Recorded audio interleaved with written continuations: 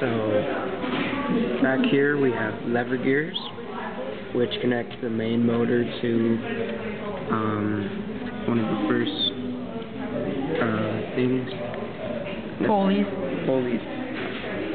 And then on the inside we have a set of spur gears, which are all connected to help make the motor run.